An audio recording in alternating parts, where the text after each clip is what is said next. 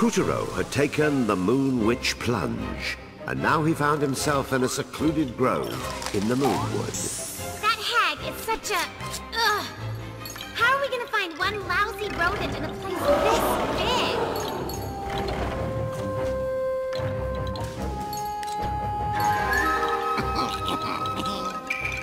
I love this. Landscape of evil, dark horribleness.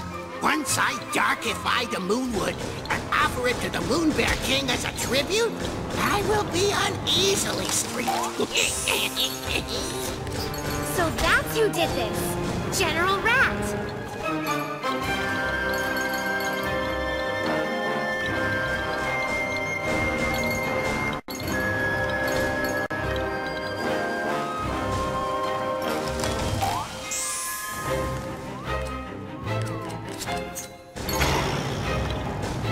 Now, bamboo generally tend to be upright citizens, but these stalks have grown fangs and wanted to chow down on Kutaro. If I might share a bit of moon lore, have you heard this one?